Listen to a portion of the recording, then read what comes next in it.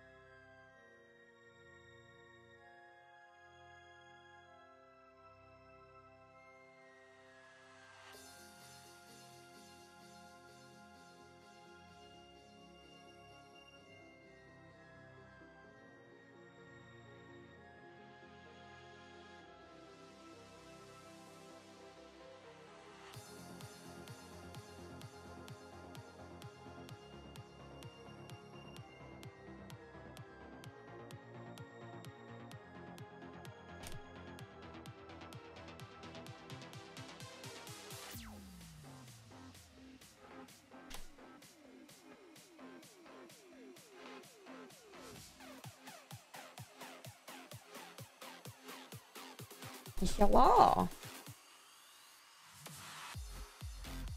Good morning, did I? Good morning, Weevil.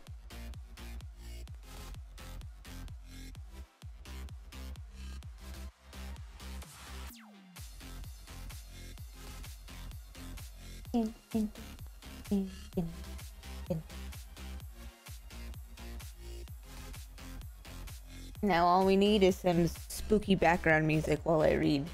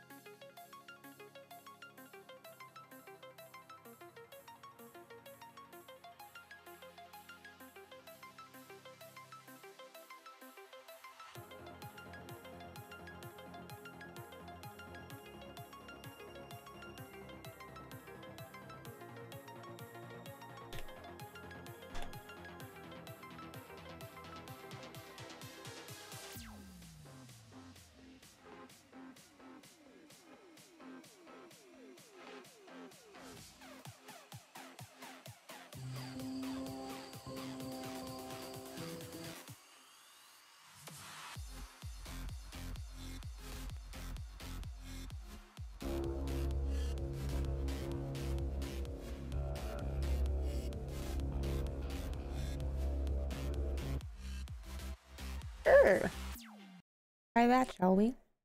Well, friends, over here.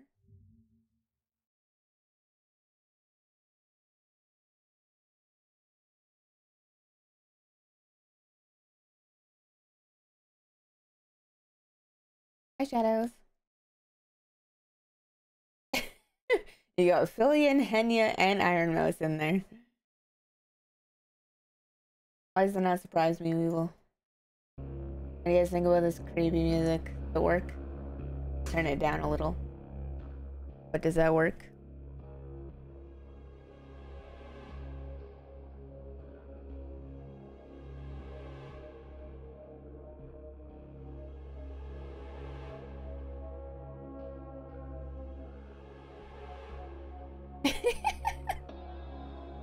Do I work? Are you sure? I don't know.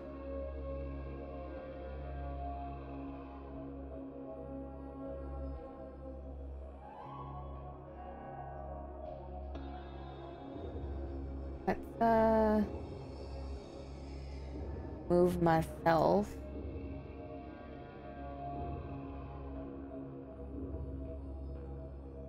There. Is that better?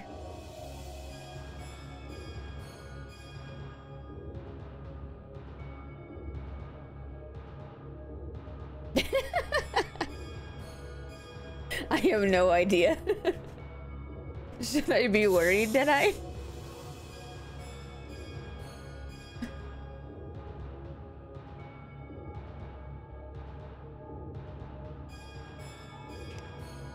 That sounds like something scary. Bigger in this case is always better, okay. Alright. Good.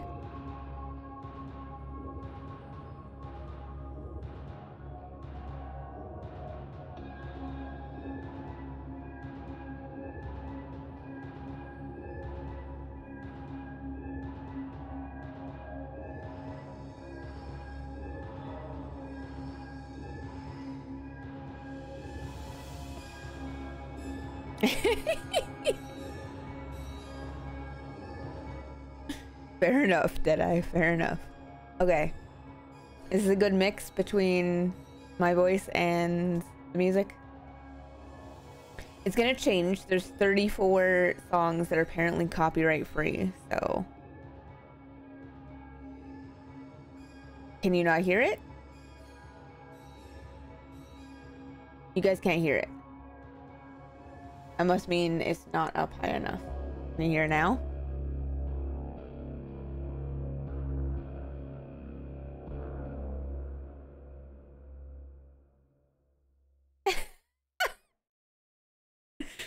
My god, did I?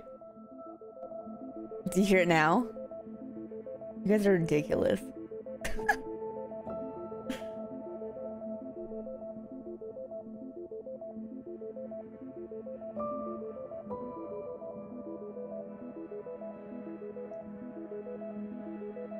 I appreciate you guys, but you're ridiculous.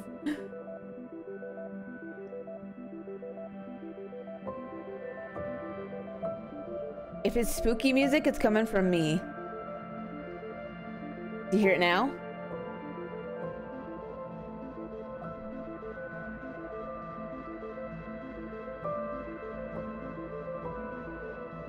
Okay. is it too loud or is it okay? I had it way down and apparently you guys couldn't hear it at all.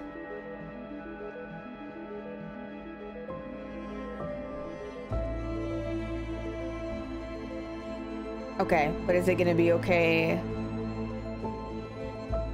if I start reading stories?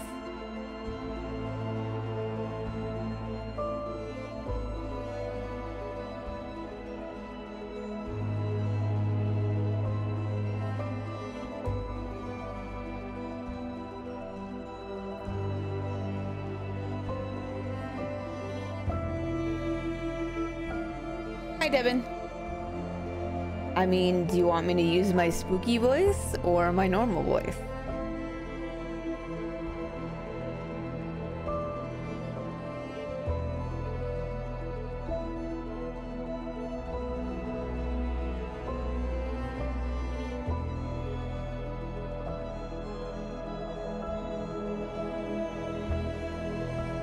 Spooky voice? It's story time.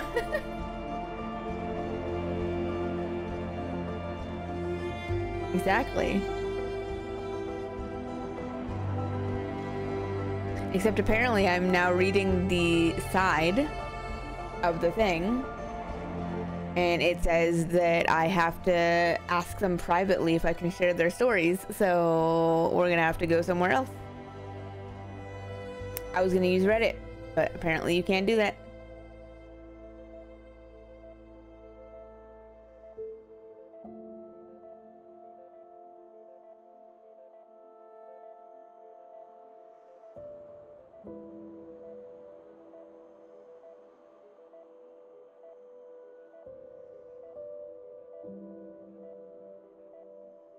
Apparently.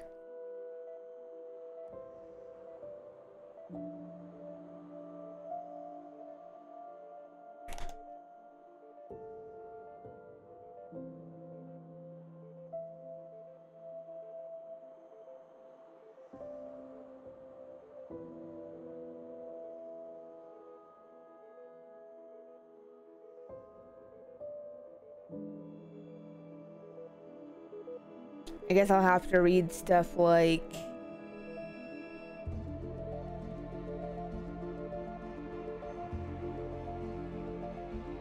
like this stuff. Spooky scary stories instead of spooky scary skeletons. Okay. If I talk a little lower like this, can you guys still hear me?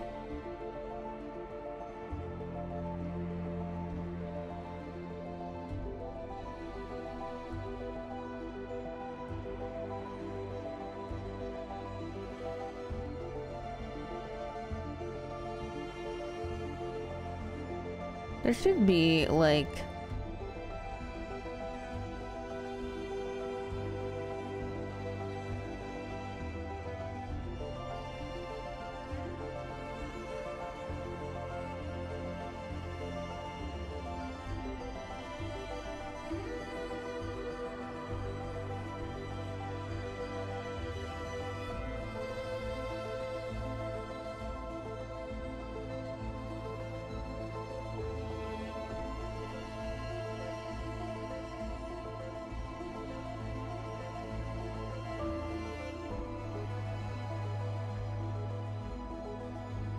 you guys still hear me if I talk like this?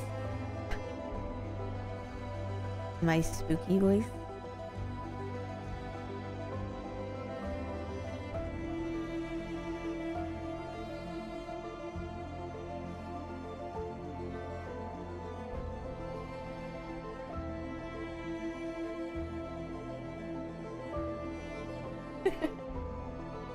I mean, really sure what my spooky voice is, to be fair. These are stories that it says you can read for free, but they're like dumb. No offense. But I want spooky stories.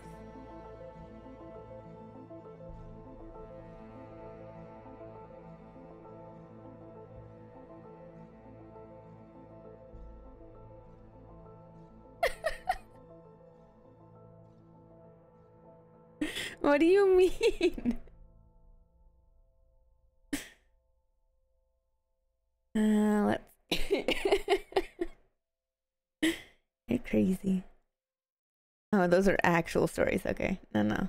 No, no, no.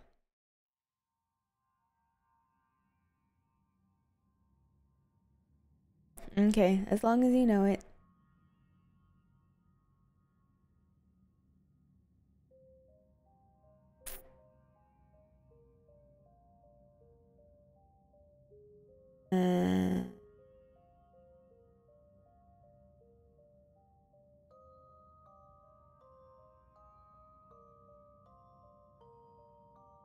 Okay.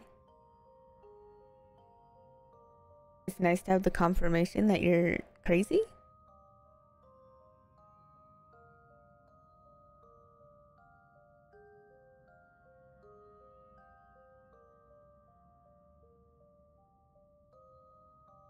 Mm.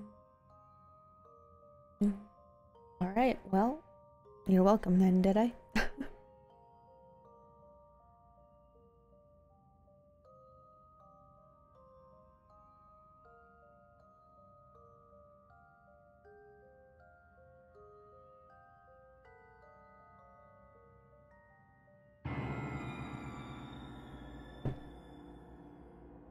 Okay, let's see.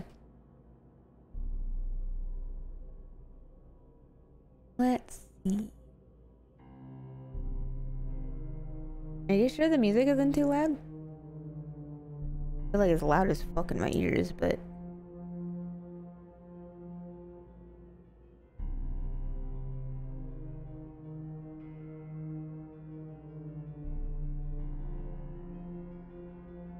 Hi, Mutant. I'm okay, how are you?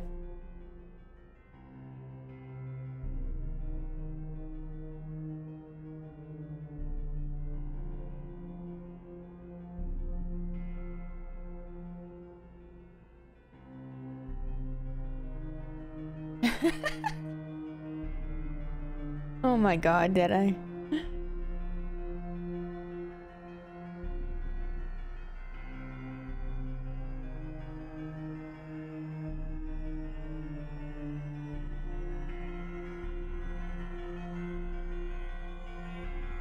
Mhm, you and your Resident Evil.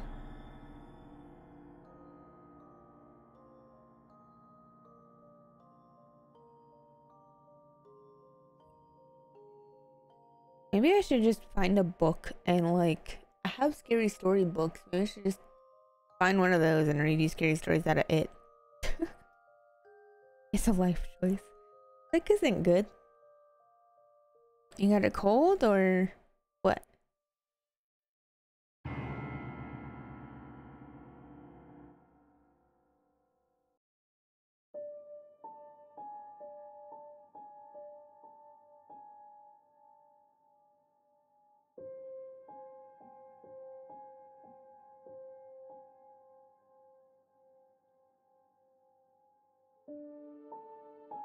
I'm sorry. I have that one, actually. Give me two seconds. Let me see if I can find it real fast. I think I know where it is. And if it's right next to me like I think it is, then I'll just read you out of that. How about that?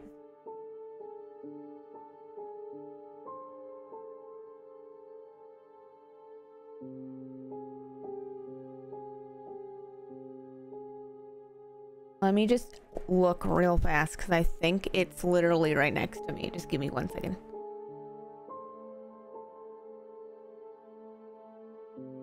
Hi, Karen. Give me one sec.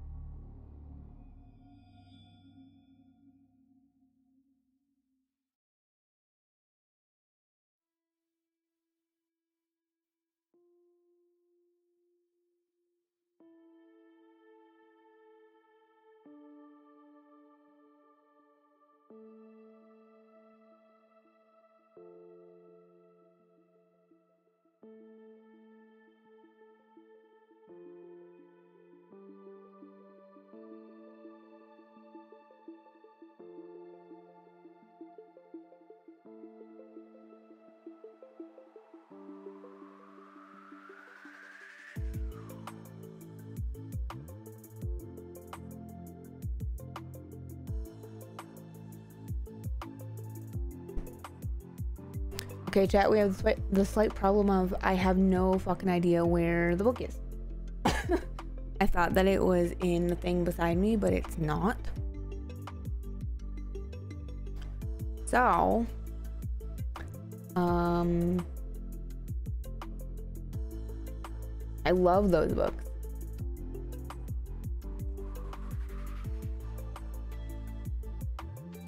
It is odd because that definitely shouldn't be a kid's book. Let me see if I can like actually find like a some of those stories are fucking terrifying.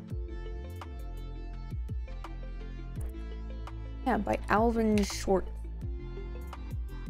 Honestly, in my opinion, I think that you should be able to read a story online, even if it's copyright protected, by just saying, this is the name of the story, this is the author of the story, and that should be enough. If I'm literally shouting out the person, you know? So I feel like that's how it should go, but oh my god, is it actually in a ooh?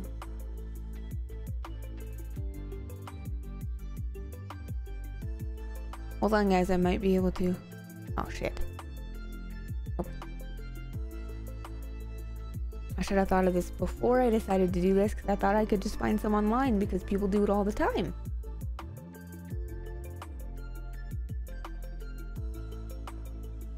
Yeah, me too. Me too, Weevil. Me too. I wonder if I could just find some of the stories. Let me see if it'll... Some people might have uploaded them online. I don't know. Oh god, I can't read like that.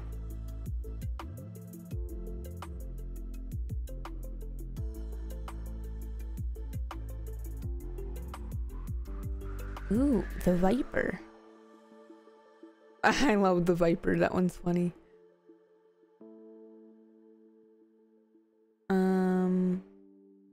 It's uploaded, but like, whoa. whoa. The Viper. Your mom read them to you? Aw. So that's just him talking about Oh my god, the big toe. Oh my god. Please tell me you guys have heard. You know what? Fuck it. If you haven't heard the big toe, you're, you're about to. I'm gonna read it to you. You guys want me to turn the music down? Or is it okay? Apparently you guys couldn't hear it. The viper has come to fish watch windows. it's okay for now? Okay.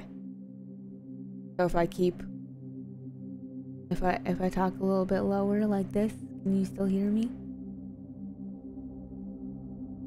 Oh, the white satin evening gown. Oh my god. I remember those. Did I hear you gonna survive?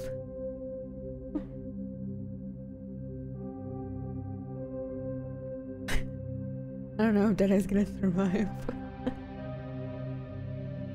Or Annie. My fate is yet to be determined, dear God. Okay, give me one second, guys. I'll be right back.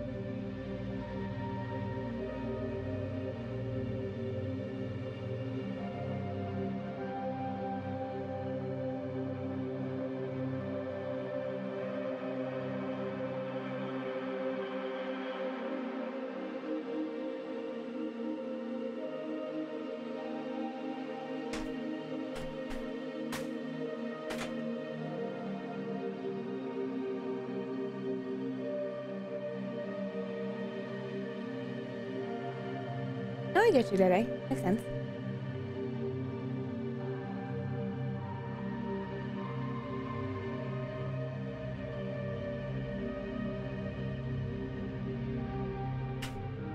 Wait, what happened to Annie? Like the VTuber Annie?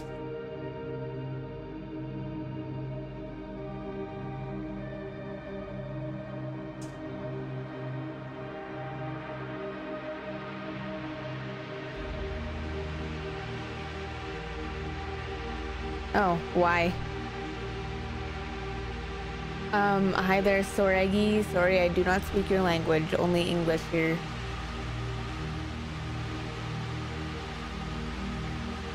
I feel like the music is so loud. Are you guys sure it's not too loud?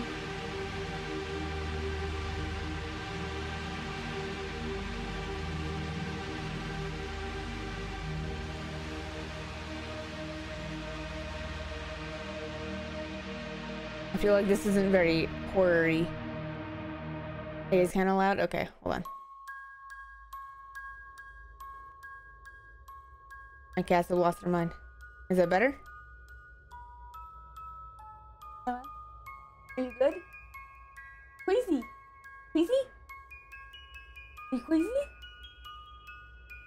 She's looking at me like, what the fuck? I kind of like this one too.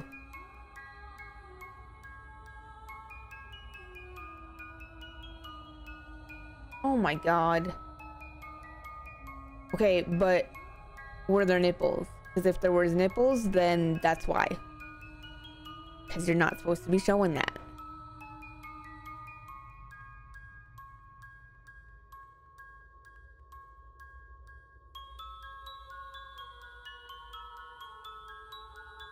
In my opinion, if you're gonna be like it's fine to test things or whatever out to see like what's gonna happen, but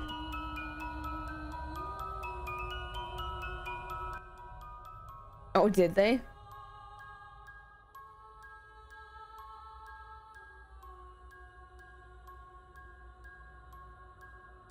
I mean, I get it for like artists and stuff. that's fine, but crazy? I was crazy once. okay, is that better?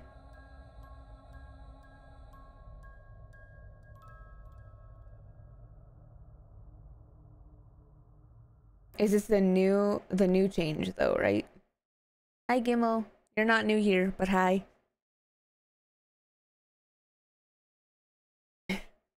Thanks for the head pats. Okay. I know I said I was gonna read you guys the big toe, but I decided that I'm gonna read Mitai Dotai Walker instead because that one scared the bejesus out of me when I was little. So I'm just gonna highlight it because it's really fucking hard to see. Which one's what?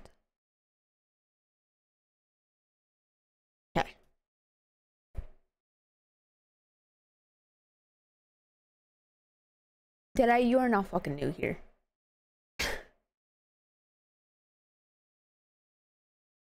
How's it going, Gimel? It's a 360 degree change. I mean, true, but you're not new here. oh my god. Okay, Weevil. when did you become a dad?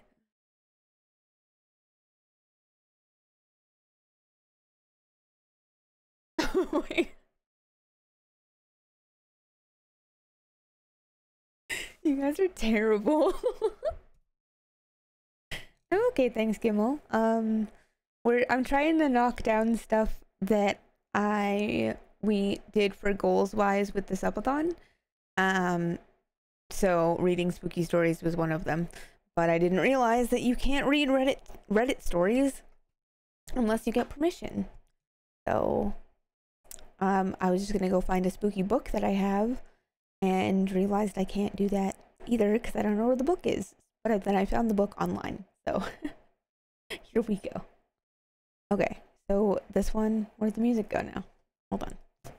Hello?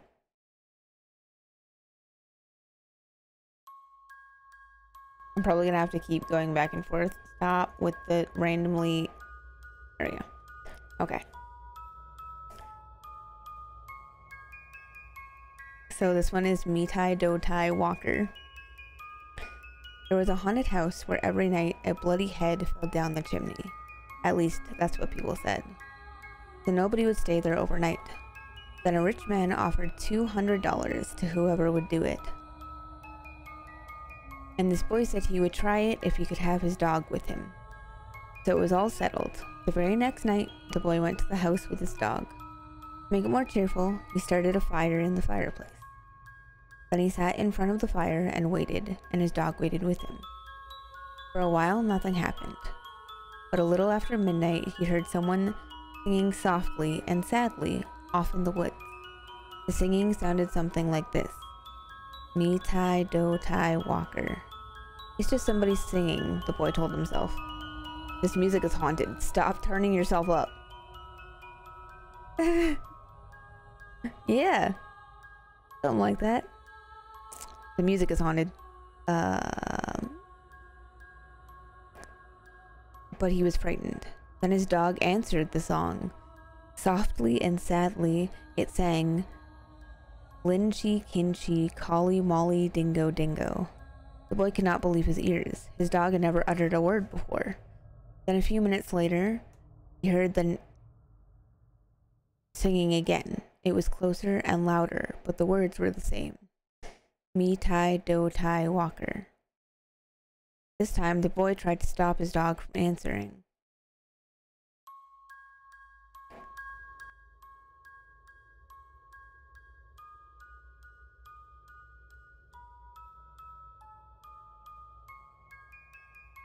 I lost my spot, sorry. He was afraid that whoever was singing would hear it and come after them. But his dog paid no attention, and again it sang Linchi Kinchi Collie Molly Dingo Dingo. A half hour later, the boy heard the singing again. It was in the backyard, and the song was the same. Me Tai Do Tai Walker. Again, the boy tried to keep his dog quiet, but the dog sang louder than ever.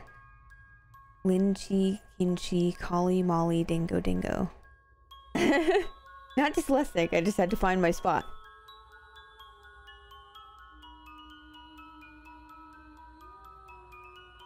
Soon the boy heard the singing again. Now it was coming down the chimney.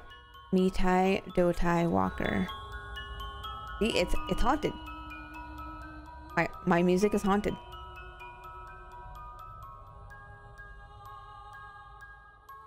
The dog sang right back.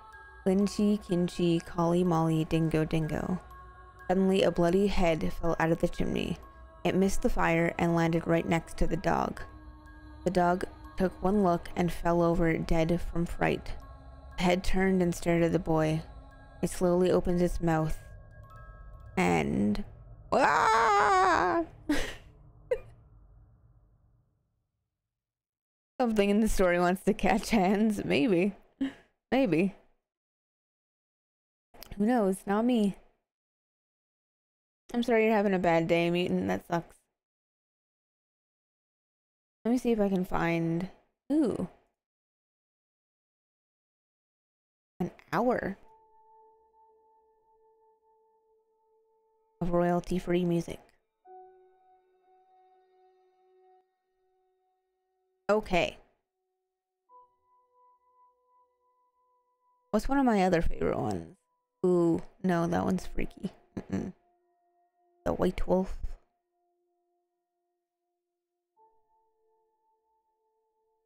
Hold on. See what else we got here, chat.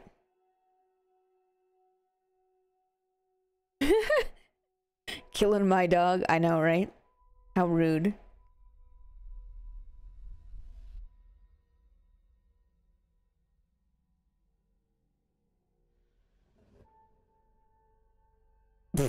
Thanks, Jen. Oh, dude. This is cool. Okay, well now I can actually see the book like it's in front of me. Holy shit, that's a little too zoomed in. Uh... Oh, I didn't realize there was a Wendigo one. You guys want to hear the Wendigo one?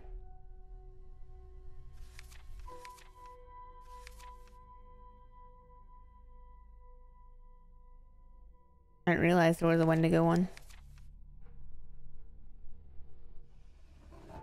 What, a Wendigo? Yeah, they're pretty spooky. I mean, I I guess. I don't know. I've never seen one. Don't know that I want to.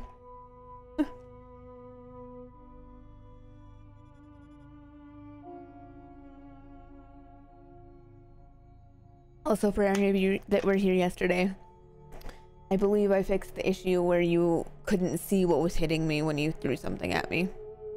I think I fixed it.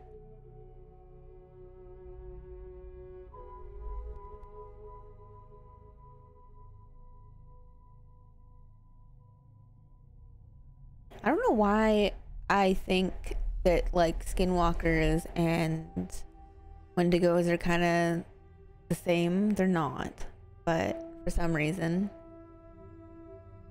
Anyways, okay, I'll read. I'll I'll read the Wendigo story then.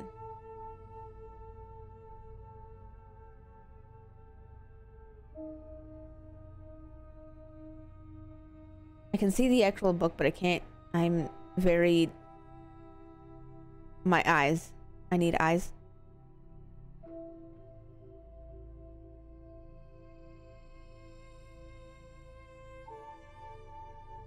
Yes. Okay. the music, okay?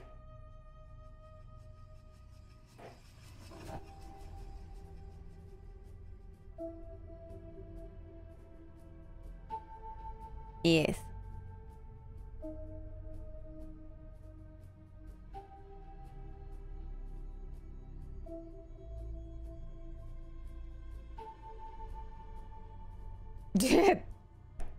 Focused on my candles, huh?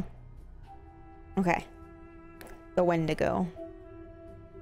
A wealthy man wanted to go hunting in a part of northern Canada where a few people had ever hunted. Oh good, we're in Canada. He traveled to a trading post and tried to find a guide to take him, but no one would do it. It was too dangerous, they said. Finally, he found an Indian who needed money badly, and he agreed to take him. The Indian's name was Defago. They made camp in the snow near a large frozen lake. For three days they hunted, but they had nothing to show for it. The third night a windstorm came up. They lay in their tent listening to the wind howling and the trees whipping back and forth. To see the storm better, the hunter opened the tent flap. What he saw startled him. There wasn't a breath of air stirring, and the trees were standing perfectly still. Yet he could hear the wind howling, and the more he listened, the more it sounded as if it were calling Defago's name. Defago, it called. Defago. I must be losing my mind, the hunter thought. But Defago had gotten out of his sleeping bag. He was huddled in the corner of the tent, his head buried in his arms. What's this all about? The hunter asked. It's nothing, Defago said, but the wind continued to call him, and Defago became more tense and more restless. Defago, it called. Defago. Suddenly, he jumped to his feet, and he began to run from the tent. The hunter grabbed him and wrestled him to the ground. You can't leave me out here, the hunter shouted. And the wind called again, and Defago broke loose and ran into the darkness. The hunter could hear him screaming as he went. Again and again he cried, Oh, my fiery, fiery feet, burning feet of fire. And his voice faded away and the wind died down. At daybreak, the hunter followed Defago's tracks in the snow. They went through the woods, down towards the lake, and out onto the ice. But soon he noticed something strange. The steps Defago had taken had gotten longer and longer. They were so long no human being could have taken them. It was as if something had helped him to hurry away. The hundred followed the tracks out to the middle of the lake, but there they disappeared. At first he thought that Defago had fallen through the ice, but there wasn't any hole. Then he thought that something had pulled him off the ice into the sky, but that made no sense. As he stood wondering what had happened, the wind picked up again. Soon it was howling, as it had the night before. Then he heard Defago's voice. It was coming from up above, and again he heard Defago screaming my burning feet. But their fiery feet, there was nothing to be seen. Now the hunter wanted to leave that place as fast as he could. He went back to camp and packed. Then he left some food for Defago and he started out. Weeks later, he reached civilization. The following year, he went back to hunt that area again. He went to the same trading post to look for a guide. The people there could not explain what had happened to Defago that night, but they had not seen him since then. Maybe it was the Wendigo, one of them said, and he laughed. It's supposed to come with the wind. It drags you at great speed until your feet are burned away, and more of you than that. Then it carries you to the sky and drops you. This is a crazy story, but that's what some of the Indians say. A few days later, the hunter was at the trading post. Again, an Indian came in and sat by the fire. He had a blanket wrapped around him, and he wore a hat that you couldn't see his face. The hunter thought there was something familiar about him. He walked over and he asked, Are you Defago? The Indian didn't answer. Do you know anything about him? No answer. He began to wonder if there was something wrong with the man, but he couldn't see his face. Are you alright? He asked. No answer. To get a look at him, he lifted the Indian's hat. Then he screamed. There was nothing under the hat but a pile of ashes. Dun dun dun. I don't know why, but that one used to freak me the heck out when I was younger too. Right? Um. Ooh, this one freaked me the fuck out too. The white satin evening gown. I think I've read all of them more than once because I have the book somewhere, but.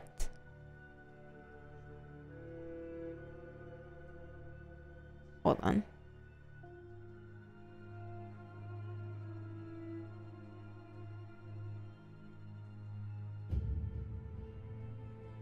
Slithery D came out of the sea. He ate all the others, but he didn't eat me.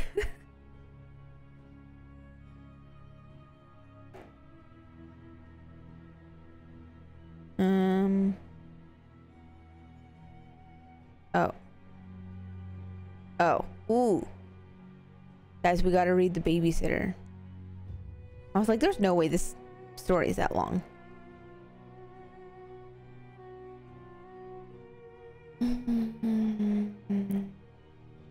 okay. This one's really short, but it used to scare the bejesus out of me. All of these did actually, so we'll just read them all. This one is the white satin evening gown. A young man invited a young woman to a formal dance, but she was very poor and she could not afford to buy the evening gown she needed for such an occasion. Maybe you can rent a dress, her mother said. So she went to a pawn shop not far from where she lived. There she found a white satin evening gown in her size. She looked lovely in it and was able to rent it for very little. When she arrived at the dance with her friend, she was so attractive everyone wanted to meet her. She danced again and again and was having a wonderful time. Then she began to feel dizzy and faint.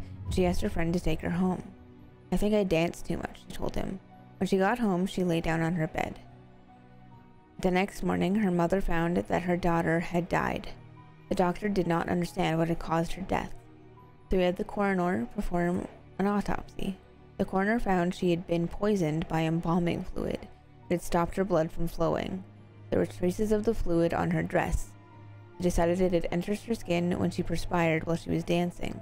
The pawnbroker said he had bought the dress from an undertaker's helper. It had been used in a funeral parlor for another young woman, and the helper had stolen it just before she was buried. That doesn't make any sense though. How would there be embalming fluid on the dress? Because I'm pretty sure. I mean, I don't know about then, but nowadays, I'm pretty sure that they do all that while you are naked and then they dress you once everything's done. So I don't even think that that could happen. But of course, when you're a little kid, I didn't even know what embalming fluid was when I was younger. So, but I remember being like, oh, that's scary. Same with the one that talks about uh, the girl that stood on the grave where she plunges a knife into it. Uh, I'll that one's here somewhere. I'll find it and I'll read it to you guys. But weird. This one, high beams, even though I've never, I hadn't driven at the time, uh, scared the bejesus out of me too. The babysitter, I love that story. I don't know why it's so spooky, but it is. Okay. This one is high beam. The girl driving the old blue sedan was a senior at high school. She lived on a farm about eight miles away and used the car to drive back and forth. She had driven into town that night to see a basketball game. Now she was on her way home. As she pulled away from the school, she noticed a red pickup truck follow her out of the parking lot. A few minutes later, the truck was still behind her. I guess we're going the same direction, she thought. She began to watch the truck in her mirror. When she changed her speed, the driver of the truck changed his speed. When she passed a car, so did he. Then he turned on his high beams, flooding her car with light. He left them on for almost a minute. He probably wants to pass me, she thought, but she was becoming uneasy. Usually she drove home over a back road. Not too many people went that way. But when she turned onto that road, so did the truck. I've got to get away from him, she thought, and she began to drive faster. Then he turned his high beams on again. After a minute, he turned them off. Then he turned them on again and off again. Drove even faster, but the truck driver stayed right behind her. Then she, he turned his high beams on again. Once more, her car was ablaze with light. What is he doing? She wondered. What does he want? Then he turned them off again. Mwah. Irons. Once more, her car was ablaze with light. Oh, I said that already, sorry. But he left them on. As she pulled into her driveway, the truck pulled right in behind her. She jumped from her car and ran to the house. Call the police, she screamed at her father. Out in the driveway, she could see the driver of the truck. He had a gun in his hand. When the police arrived, they started to arrest him, but he pointed at the girl's car. You don't want me, he said. You want him. Crouched behind the driver's seat, there was a man with a knife. As the driver of the truck explained it, the man slipped into the girl's car just before she left school. He saw it happen, but there was no way he could stop it. He thought about getting the police, but he was afraid to leave her, so he followed her car. Each time the man in the back seat reached up over reached up to overpower her, the driver of the truck turned on his high beams. Then the man dropped down, afraid that someone might see him. That one used to scare the bejesus out of me, and it's still why I check my back seat of my car, especially at night, especially alone, because I ain't about to die. Because not everybody is as nice as this man to follow this girl because of that. You guys all know the babysitter story, right?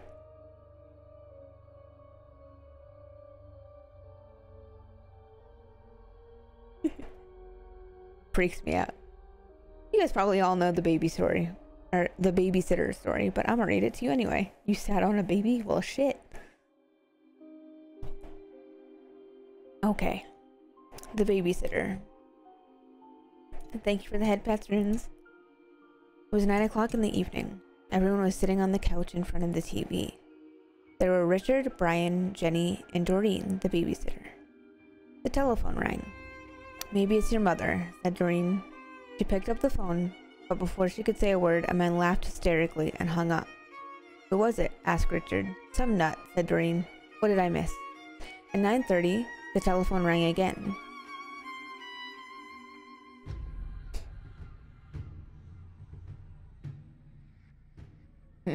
oh dear.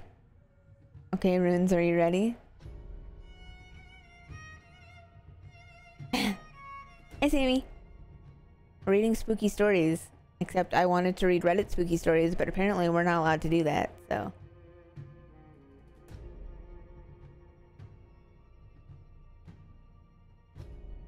Okay.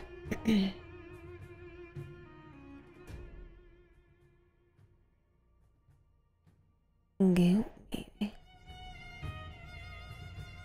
There you go. Yay! Sammy was watching.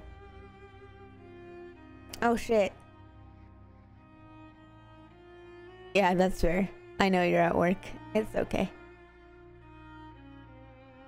How's work going today? Do you like my creepy story reading while you work?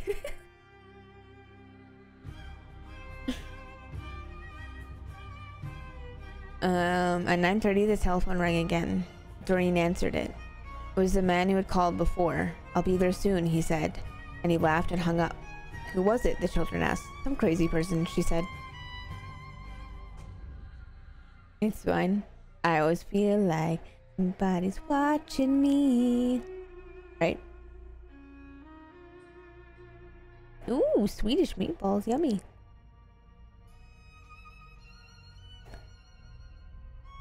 She said, about 10 o'clock, the telephone rang again. Jenny got to it first. Hello, she said. It was the same man. One more hour, he said, and he laughed and hung up. He said one more hour. What did he mean? asked Jenny. Don't worry, said Green. Is somebody fooling around? I'm scared, said Jenny. About 10.30, the telephone rang once more. When Doreen picked it up, the man said, pretty soon now, and he laughed. Why are you doing this? Doreen screamed, and he hung up. Was it that guy again? asked Brian. Yes, said Doreen. I'm going to call the operator and complain. The operator told her to call back if it happened again, and she would trace the call. At 11 o'clock, the telephone rang again. Doreen answered it. Very soon now, the man said, and he laughed and hung up. Doreen called the operator. Almost at once, she called back. That person is calling from a telephone upstairs, she said. You better leave. I'll get the police. Then a door upstairs opened. The man had never... A man they had never seen before started down the stairs towards them. As they ran from the house, he was smiling in a very strange way. A few minutes later, the police found him there and arrested him. Oh, that one used to freak me the fuck out too. And I still think about it when like I used to pet sit. So like when I was pet sitting and I was in like this unknown house to me or like kind of unknown house to me and stuff. Uh, oh god, it used to creep me out.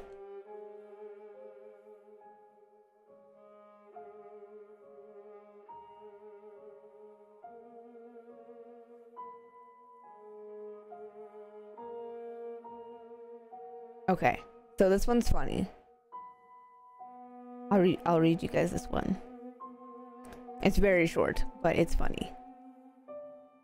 Spooky but funny. A widow lived alone on the top floor of an apartment house. One morning, her telephone rang. Hello, she said. This is the Viper, a man said. I'm coming up. Somebody's fooling around, she thought, and hung up. Jesus Christ. Mia, you throwing things at me. I'm all in the mood. You just scared the shit out of me.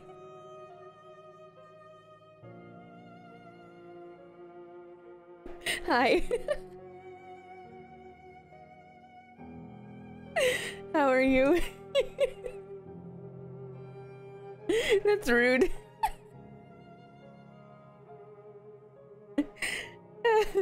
Hi. How you doing? Oh, you calling me kawaii? Thank you. Oh, that's not good. You got a cold or? I'm doing okay. I just got over being sick not that long ago.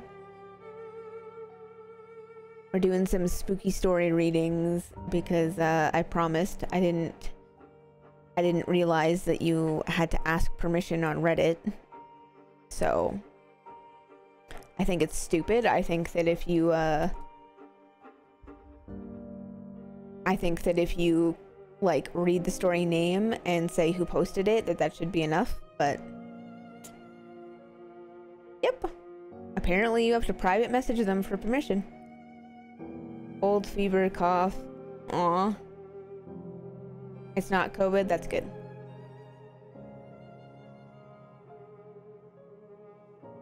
You say, like, obviously I call you Mia, but do you say your full name Mia Kirimu? I probably said that so bad. Kirimu? I feel like I fucked it up.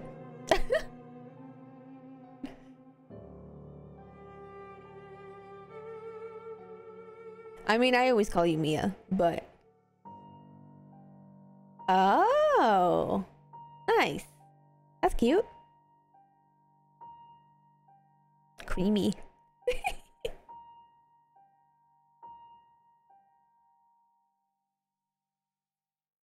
Half hour later, the telephone rang again. It was the same man.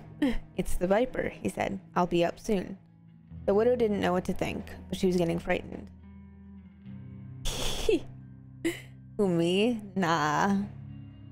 I'm not a tease. I'm not sussy. I don't know what you're talking about. Mm-mm. Not me. Couldn't be me. Not your vampire waifu.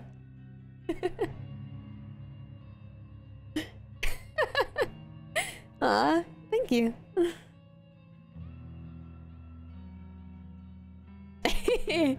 yeah. what of it?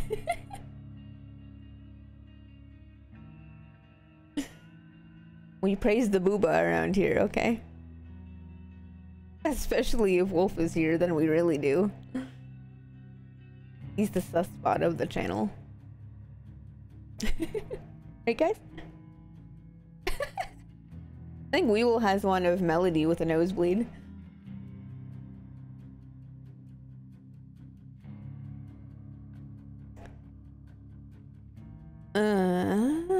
Once more the telephone rang. Again, it was the Viper. Ah, Jesus. Sorry, that works. My kitties. I'm coming up now, he said. She quickly called the police said they would be right over. When the double rang, she sighed with relief. They're here, she thought. When she opened the door, there stood a little old man with a bucket and a cloth. I am the Viper, he said. I wish to wa wash and wipe your windows.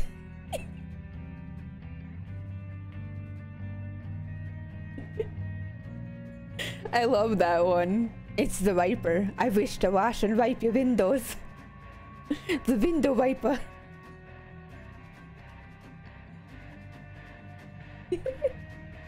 I like that one.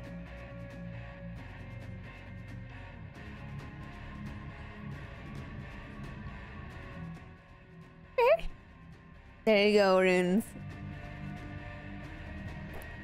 Let's see what else there is.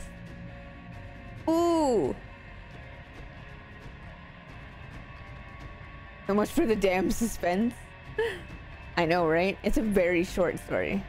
You guys know the ghost with bloody fingers, right? Bloody fingers. That's such a good story. Oh my god. Okay. It's funny, but I'm gonna read it anyway. Because I can. Oh shit.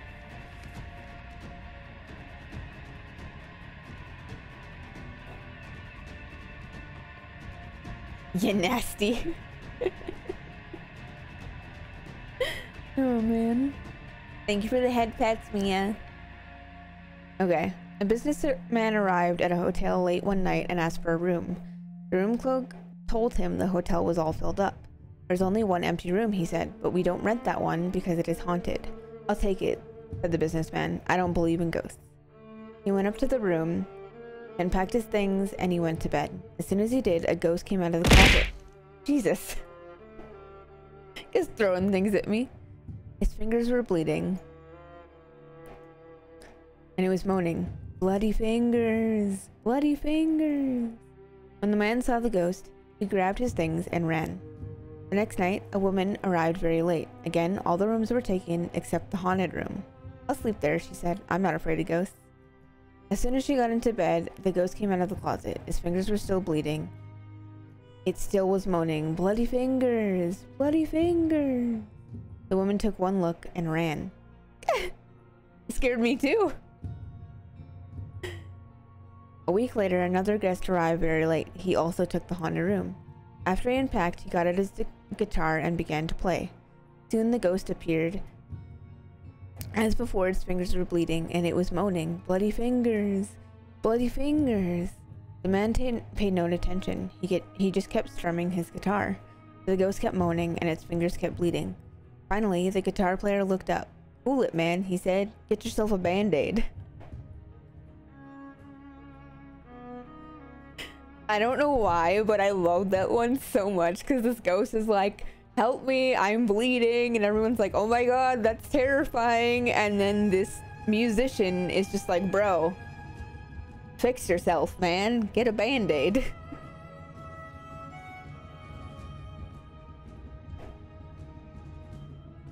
I like it.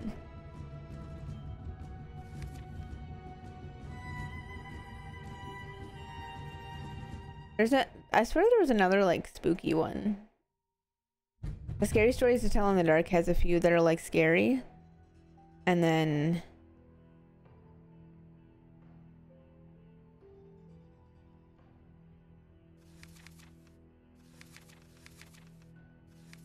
Oh yeah, okay, so the girl who stood on the grave is like another one of my favorite ones. So we're gonna, I'm gonna read it to you guys because why not? And I guess from now on, I'll have to uh, ask people if I can read their stories on streams or in videos uh, as long as I credit them or whatever. So I guess I'll have to do that. Damn, your emotes are cute. Okay, the girl who stood on a grave. Some boys and girls were at a party one night. There was a graveyard down the street and they were talking about how scary it was. Never stand on a grave after dark, one of the boys said. The person inside will grab you. He'll pull you under. That's not true, one of the girls said. It's just a superstition. I'll give you a dollar if you stand on a grave, said the boy. The grave doesn't scare me, said the girl. I'll do it right now. The boy handed her his knife. Stick this knife in one of the graves, he said, then we'll know you were there. The graveyard was filled with shadows and was as quiet as death. There's nothing to be scared of, the girl told herself, but she was scared anyway. She picked out a grave and stood on it. Then quickly she bent over and plunged the knife into the soil and started to leave. But she couldn't get away. Something was holding her back. She tried a second time to leave, but she couldn't move. She was filled with terror. Something has got me, she screamed, and she fell to the ground. she didn't come back, the others went to look for her. They found her body scrawled across the grave. Without realizing it, she had punched the knife through her skirt and pinned it to the ground. It was only the knife that held her. She had died of fright. That used to scare the shit out of me too. When I read it at first, not knowing that, you know, uh, not knowing that she had plunged the knife through her skirt. But, used to scare the shit out of me most of these stories did and i think it was more so like the pictures. Like the pictures in this book are spooky. Is she stupid. Yeah i mean why would you? I figured she got caught on something or stabbed her foot. I mean i feel like if she stabbed her foot she'd know. The pictures are so creepy. Um i think it's the thing is the name of the story. It's horrifying. Like, the eyes are so creepy. Yeah, a foot would definitely be more obvious unless you, like, shoved it through your shoe or something. But I feel like you'd notice that. Honestly, I feel like you would feel it even if you put it through your clothes, but I guess adrenaline is a thing, and if you're spooked or scared, it can change things for sure. Also, this uh, a new horse one uh, to scare the bejesus enemy, so I'll redo this one too. And then I'm gonna start going through Reddit stories when I can. And I guess I will start PMing people and asking them if I can use their stories. Because I would like to do more of these if this is something you guys thought. Um, if you guys think that you'd like more of these type of streams where they're just short little streams of me reading spooky shit, I can do that. Publisher did a reprint later and the artwork they used was decidedly less scary. I mean, I like this artwork a lot better. But that's also why I'm confused as to why it's like supposedly for kids. Oh, you do? Yay. See, Deadeye suggested that because when I ran out of clips for TikTok and like YouTube shorts, I didn't know what else to do because I don't really, you know, I focus on being spooky because that's my content is all spooky stuff. And so it was kind of one of those things where I was like, well, I guess I could read horror stories, but people didn't really like it as much.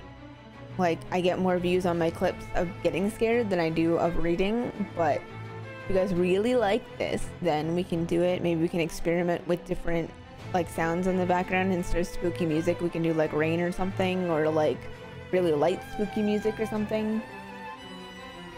You know? Yeah, sliding into DMs, that's me. Okay, so this one's called A New Horse. What happens if I view in full screen? Wow, it looks just like my book too. Okay, I might be able to read them better like this, actually. The big toe. Oh god.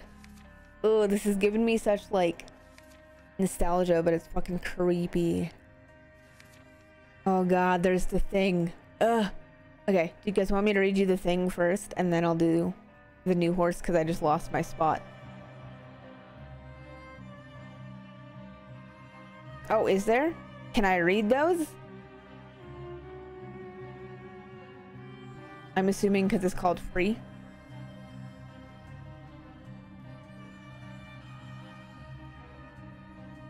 Thank you, Miss Leafy. Much, much appreciated. I appreciate your lurk very much. It's royalty free, which means I should be able to use them without DMing, right? Or PMing, or whatever. Whatever it's called.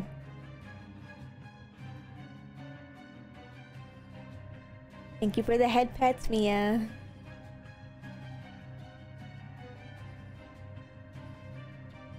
You guys sure the music isn't too loud? I feel like it's so loud. Okay, so this is the thing. Ted Martin and Sam Miller were good friends. They spend a lot of time together. Oh shit, hold on.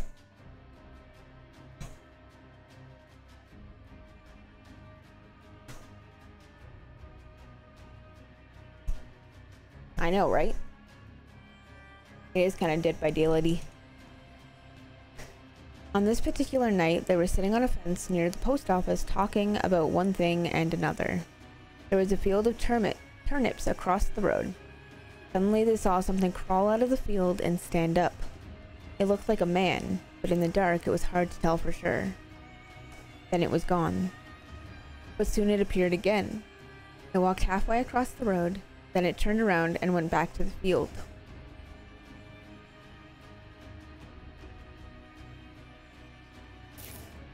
Yeah, I kind of wondered, Weevil. It. Then it came out a third time and started towards them. By now, Ted and Sam were scared, and they started running. When they finally stopped, they decided they were being foolish. They weren't sure what had scared them, so they decided to go back and get a better look. Pretty soon, they saw it, for it was coming to meet them. It was wearing black pants, a white shirt, and black suspenders. Sam said, I'm going to try and it, touch it, then we'll know if it's real. He walked up to it and peered into its face. It had bright, penetrating eyes sunken deep in its head. It looked like a skeleton. Ted took one look and screamed, and again he and Sam ran, but this time the skeleton followed them. When they got to Ted's house, they stood in the doorway and watched it. It stayed out in the road for a while, then it disappeared. A year later, Ted got sick and died. Toward the end, Sam sat up with him every night. The night Ted died, Sam said he looked just like the skeleton. Hello, Cause.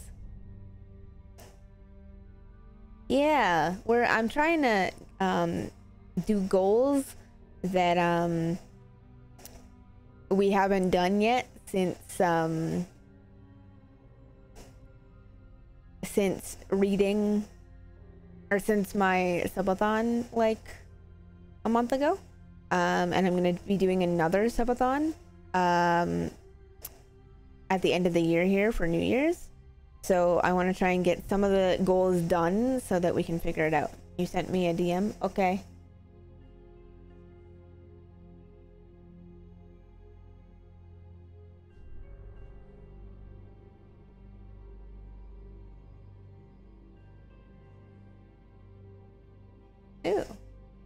Thanks, Deadeye. I'll have to look into it for sure.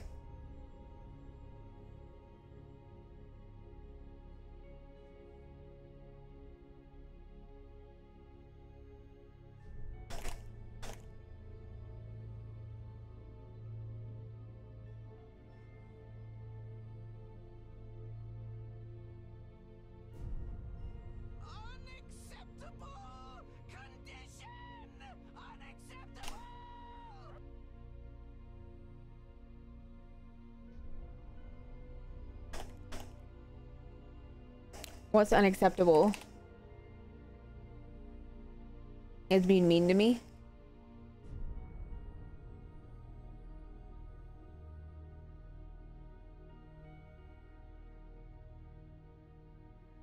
Yeah.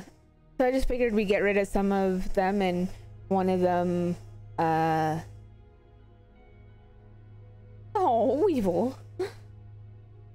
um, yeah, I just, I don't know. I figured it'd be good to get some of the stuff done with, and one of them was reading horror stories. And according to Deadeye, I have a nice voice. So I decided that I'd read you some spooky shit and use my spooky voice.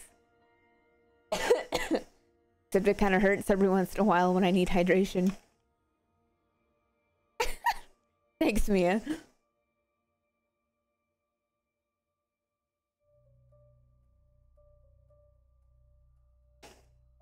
Much appreciated. Hydrated, hydrated. Thanks for the headbutt shadows. Did I do be do know what they be talking about? Well, thank you. Rawr. you go, shadows. okay, let me find the new horse one because that one's spooky.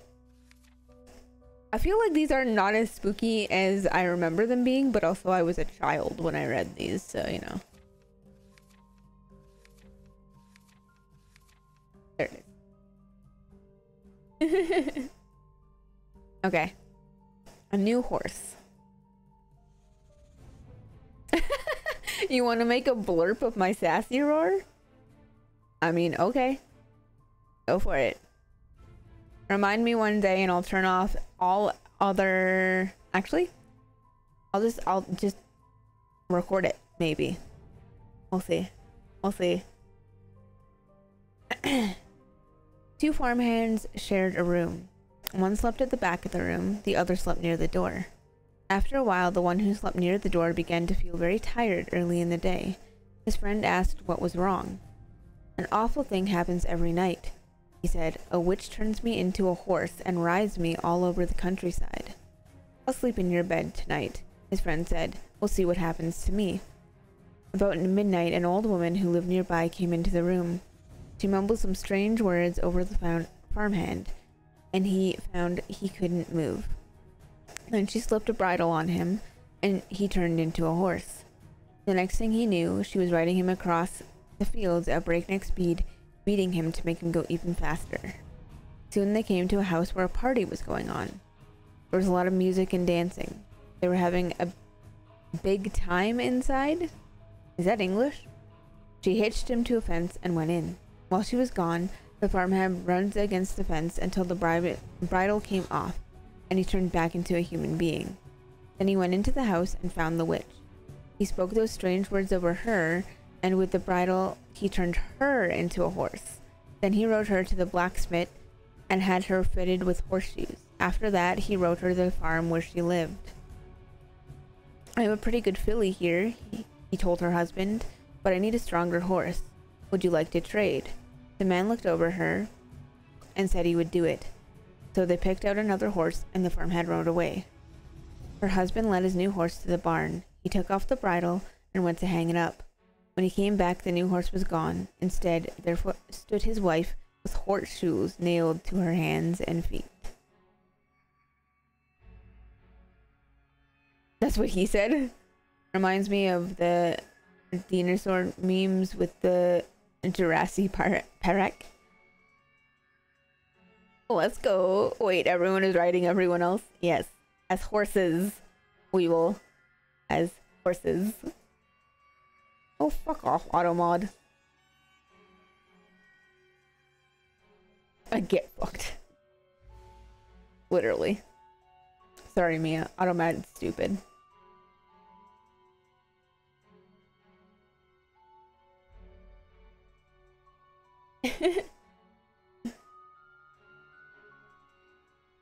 we did.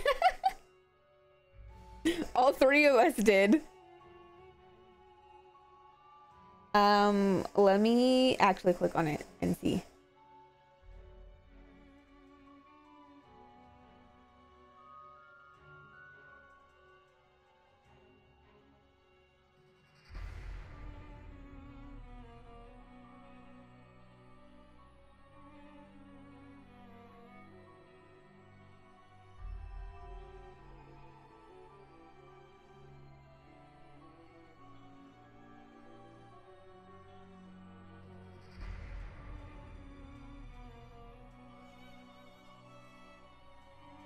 It doesn't say for the first one that I can't read it, so that's a thing.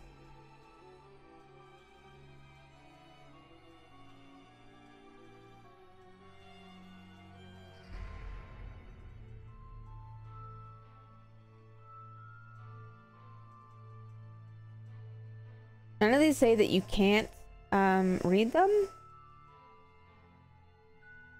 So that actually might be really helpful.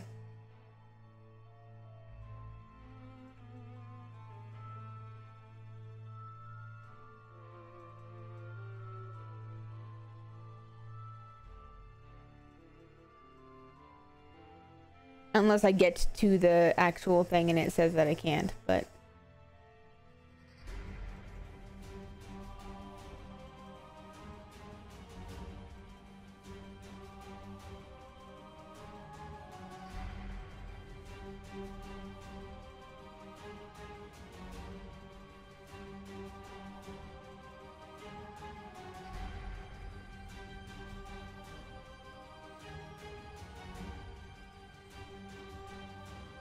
Yeah. I appreciate that. Thank you.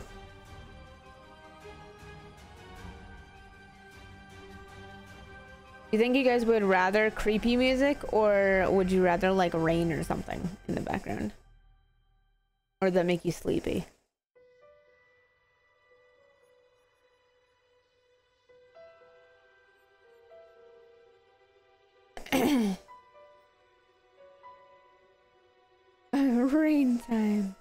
Like, I know I listen to spooky stories with rain in the background to fall asleep, but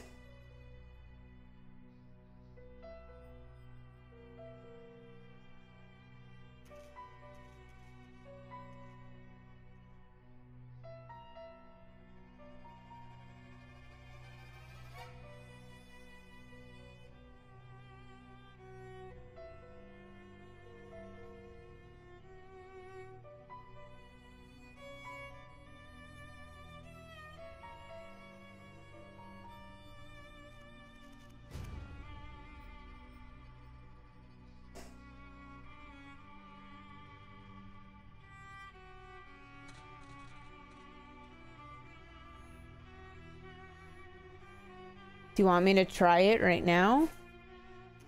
Yeah, about half an hour left that I can read you guys stuff. Let's try it. Find some rain sounds. I'm not gonna put for sleeping. No copyright rain sounds? You need... You can copyright rain sounds? Okay. There you go. You guys hear it?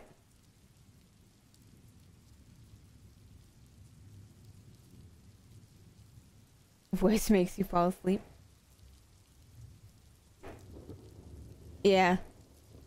I mean, that's why I listen to the ones that I do. For sure, for sure.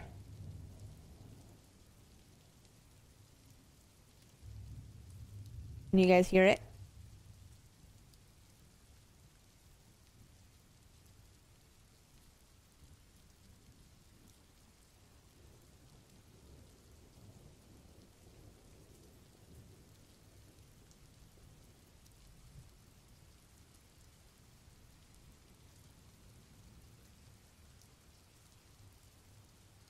Let's try... I mean, this is literally from Creepypasta, and I feel like people read Creepypastas all the time. Ow. And it's not a problem.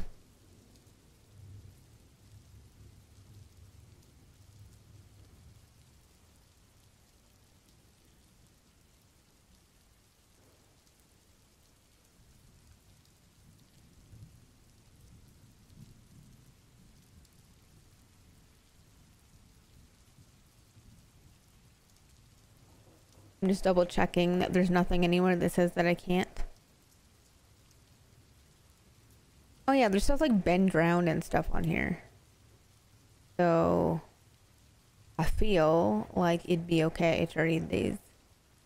I guess we'll find out if it's not. Thank you, Runes. I much, much appreciate that. I love you guys too.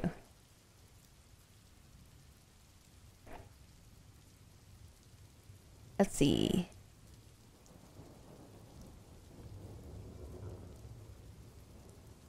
This one's from like a few days ago.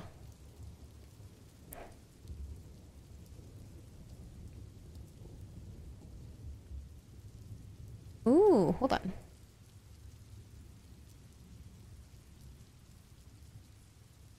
Is Tumblr still a thing? It is. Sweet.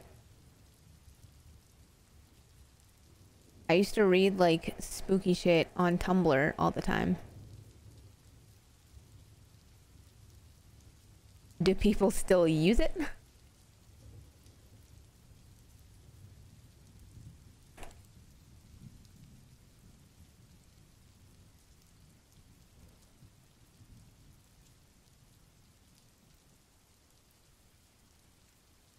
Okay.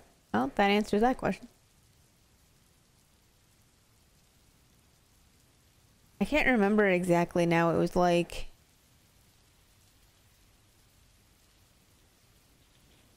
I don't know.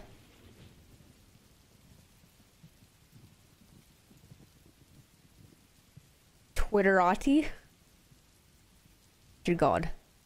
Okay. Um, well, we're just gonna try this one and see. You guys can hear the rain or no? I just want to double check. I mean, like, literally nothing says I can't read this, so... Um, and I'm sorry, but it's on the internet. Oh, there we go. Are property of to their respective authors and may not be narrated or performed under any circumstance. Never mind, I can't read them. See?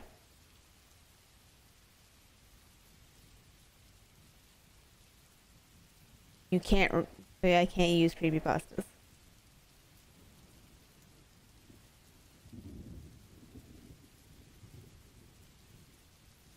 I just don't understand. If you put something on the internet, especially if it's like a story, I don't get why you wouldn't just be fine with people narrating it.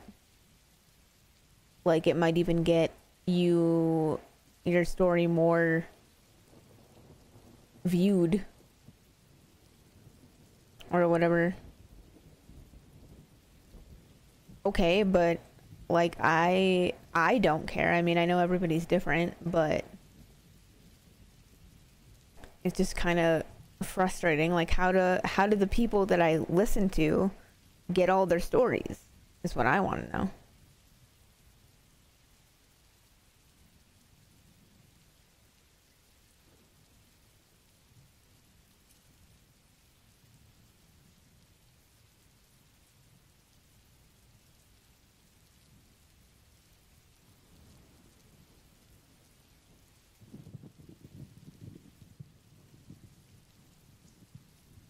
Like if it's a life story, like something that actually happened to them, I can totally understand. But if it's just like a random story that they made up, I'm not narrating it or trying to use it in a bad way.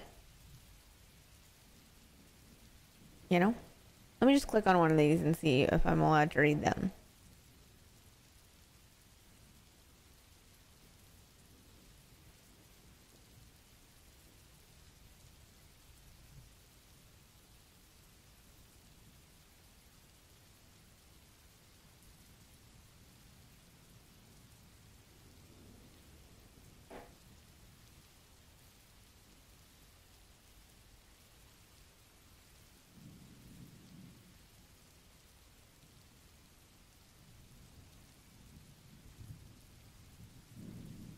I'm just reading to see if there's something that says I can't.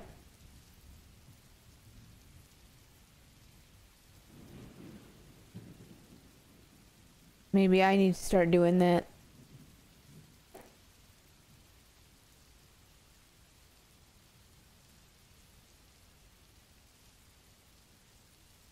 I mean, doing research for the podcast and stuff, it's a lot that goes into it. I was watching other people. And yeah, there's a lot of stuff that they have to ask permission for. Yeah, I know. But like that's why I want to talk about like our experiences and stuff with stuff, Sammy, more so because then people can't copyright that or can't say that we can't talk about that because that's our experiences. You know?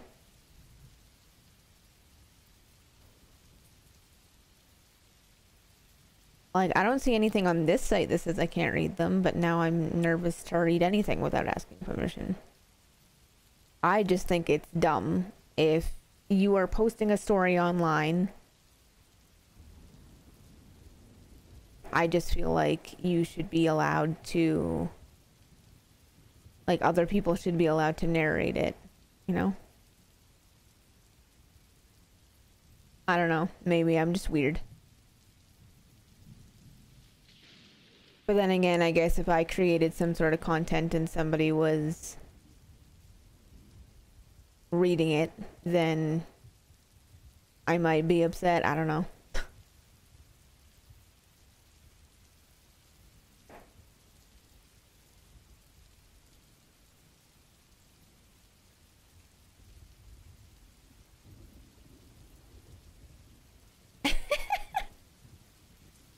we are we are the same brain sometimes, gaming wifey.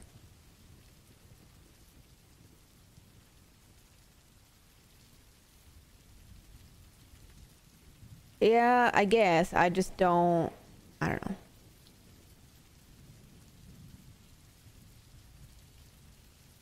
Oh yeah, totally. And I know that it is, but...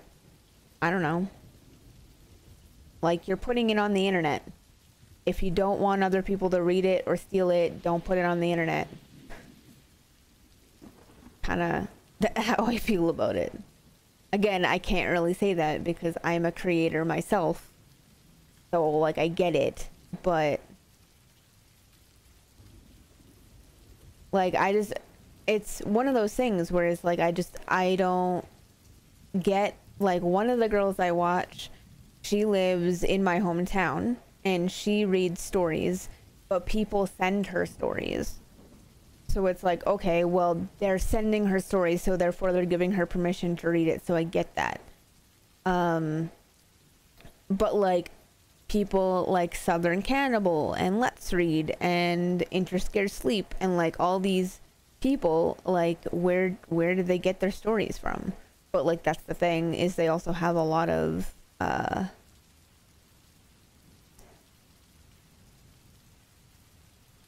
a lot of followers.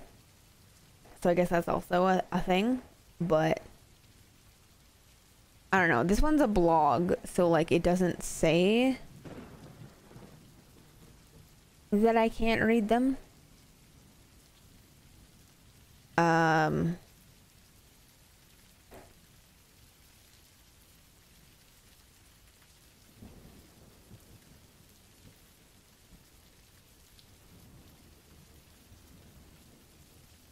My friends and a lot of YouTubers' VODs get uploaded while we have no idea of it.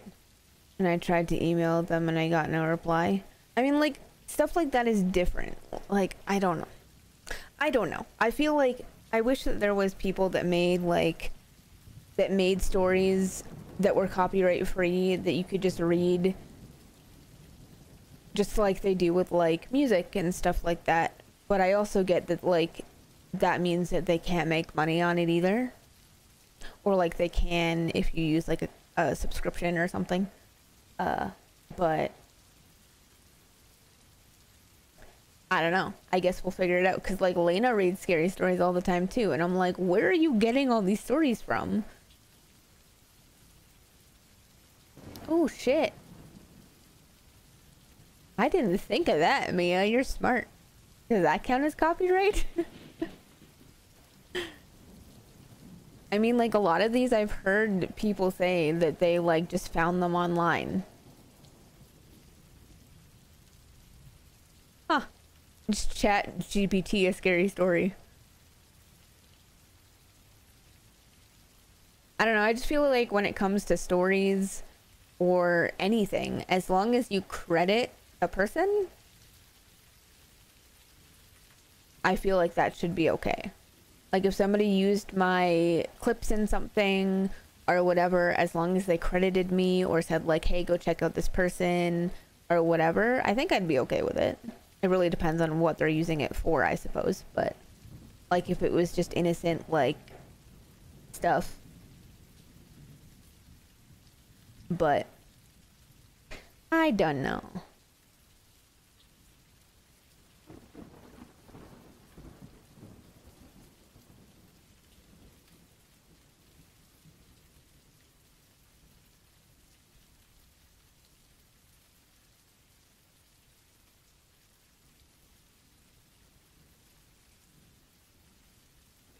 I don't know. That's why I had the um the book open because I'm like, well, it's a book.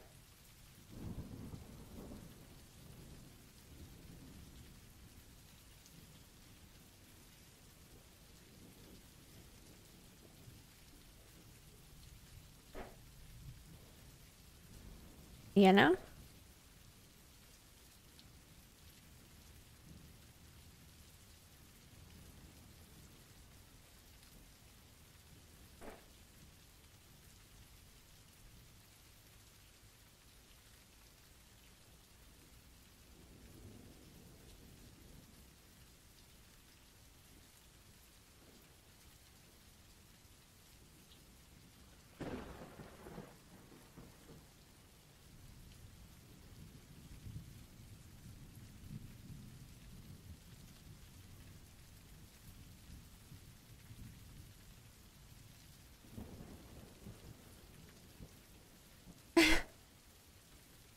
Oh,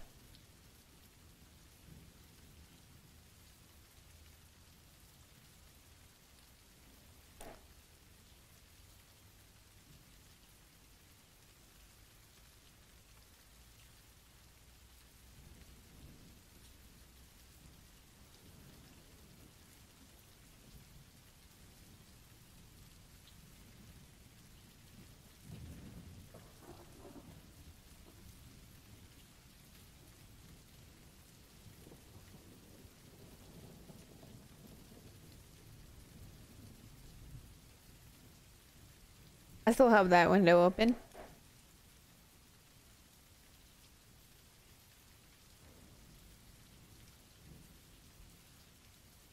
Let's see what other ones there are.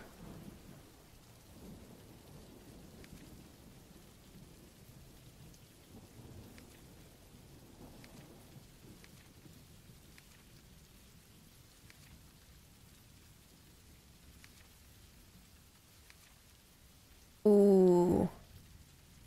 Do you guys know the hook?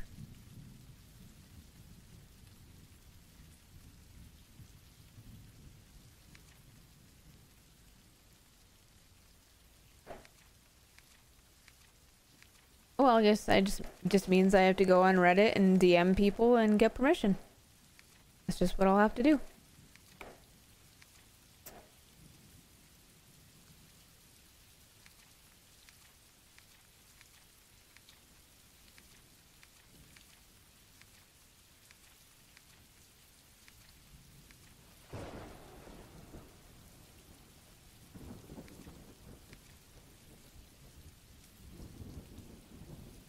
I'm assuming you guys know the story, but uh, I'm gonna read it anyway. Okay. I'm sure you guys know the story. The hook? You don't know the story of the hook? I'll read it and see if you if it jogs your memory, Mia. It's one of those popular ones. I mean, it doesn't mean that you can't know it. That's allowed. I just was thinking. Okay. Donald and Sarah went to the movies. Then they went for a ride in Donald's car. They parked up on a hill at the edge of town, from where they could see the lights up and down the valley. Donald turned on the radio and found some music, but an announcer broke in with a news bulletin. A murderer had escaped from state prison. Murderer, sorry. He was armed with a knife and was headed south on foot.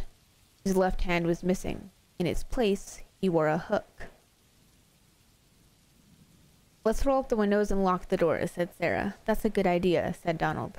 That prison isn't too far away, said Sarah. Maybe we should really go home. But it's only ten o'clock, said Donald. I don't care what time it is, she said. I want to go home. Look, Sarah, said Donald. He's not going to climb all the way up here. Why would he even do that? Even if he did, all the doors are locked. How could he get in? Donald, he could take that hook and break through the window and open a door, she said. I'm scared. I want to go home.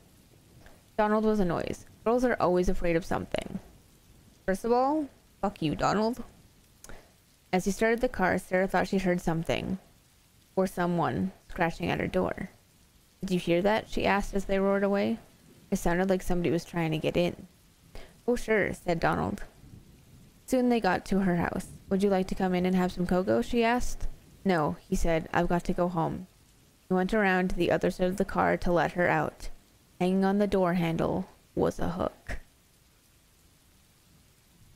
Dun dun dun!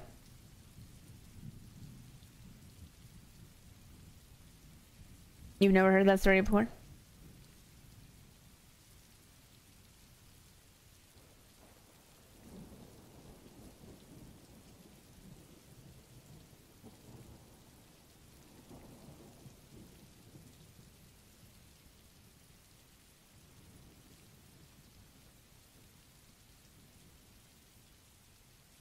Sweet, free hook.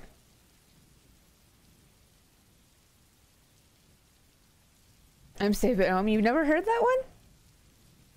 I heard it, I think, even before um, reading it in this book, but it's a pretty old, creepy story.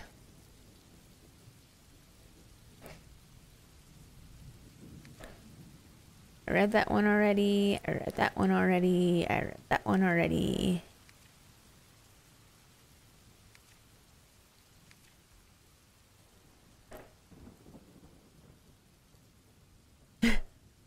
This one's funny, but I'll read it anyway for the heck of it. This one's called The Attic.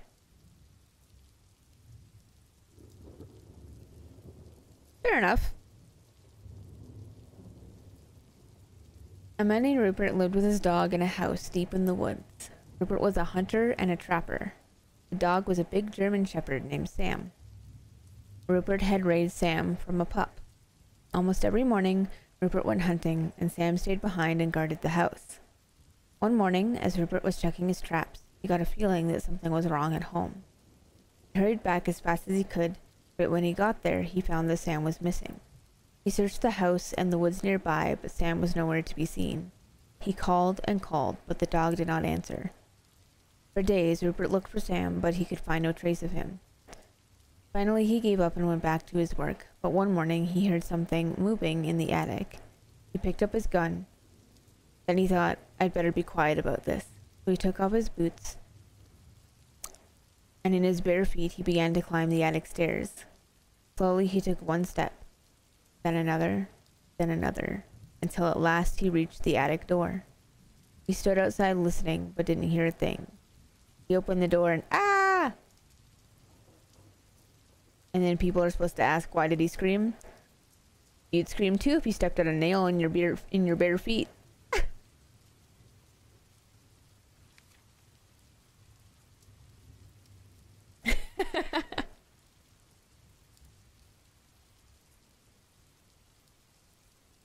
You're fine. You don't need to feel dumb. It's totally fine.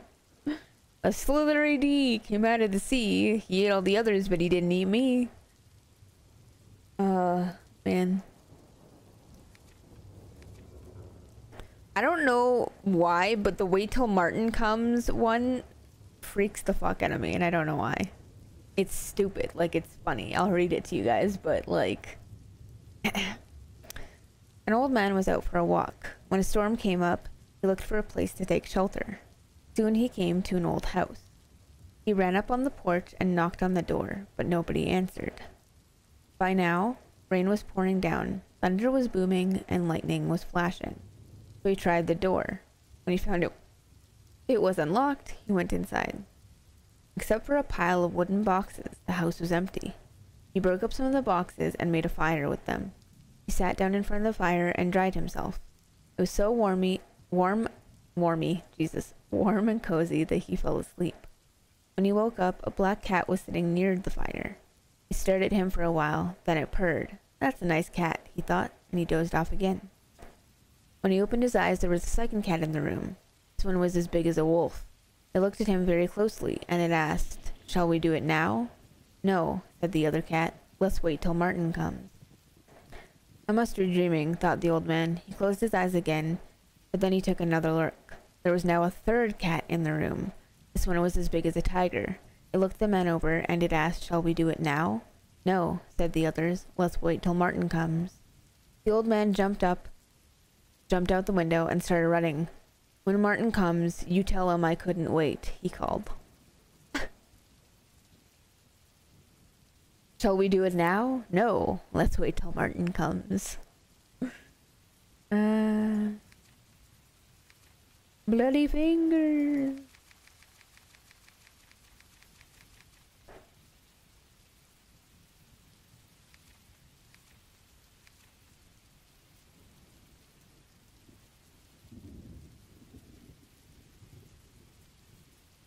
We don't know who Martin is. Yeah. Is this the first chapter?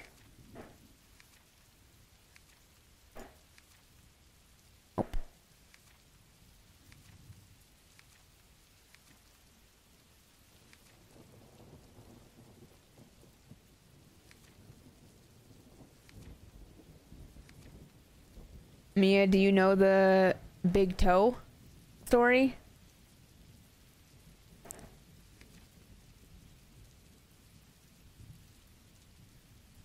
Let me enlighten you. and anyone else, of course. I'm glad. I'm glad that I can give you some content. okay. The big toe. A boy was digging at the edge of the garden when he saw a big toe. He tried to pick it up, but it was stuck to something. So he gave it a good hard jerk and it came off in his hand. Then he heard something groan and scamper away. The boy took the toe to the kitchen and showed it to his mother. It looks nice and plump, she said. I'll put it in the soup and we'll have it for supper. That night his father carved the toe into three pieces, and they each had a piece. Then they did the dishes, and when it got dark, they went to bed. The boy fell asleep almost at once, but in the middle of the night a sound awakened him. It was something out in the street. It was a voice, and it was calling to him. Where is my toe? It groaned. When the boy heard that, he got very scared, but he thought, it doesn't know where I am. It'll never find me. Then he heard the voice once more, only now it was closer. Where is my toe? It groaned. The boy pulled the blankets over his head and closed his eyes. I'll go to sleep, he thought. When I wake up, it'll be gone. But soon he heard the back door open, and again he heard the voice.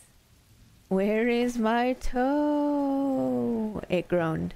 Then the boy heard footsteps move through the kitchen into the dining room, into the living room, into the front hall. Then they slowly climbed the stairs. Closer and closer they came. Soon they were in the upstairs hall. Now they were outside his door. Where is my toe? The voice groaned. His door opened, shaking with fear.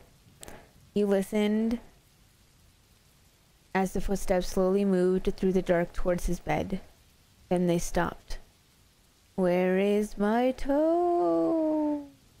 The voice groaned. You've got it. I ate it and I'll eat you too. Oh shit. Apparently it has another ending. Um, when the voice hears the voice when the boy hears the voice calling for his toe, he finds a strange looking creature up inside the chimney. The boy is so frightened he can't move. He finally stares at it and says, What big eyes you have for to look you through and through. What you got such big claws for to scratch up your grave. What you got such a big mouth for to swallow you whole. What you got such sharp, sharp teeth for to chomp your bones. I didn't know it had two endings, but there you go. spooky, right?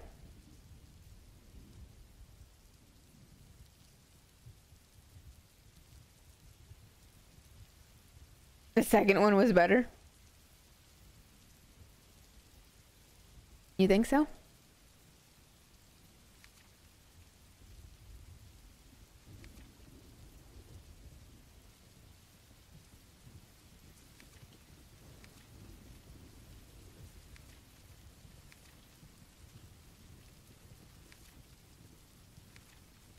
Now I can scare someone's kid. Oh my god. Oh, there you go. I have the power.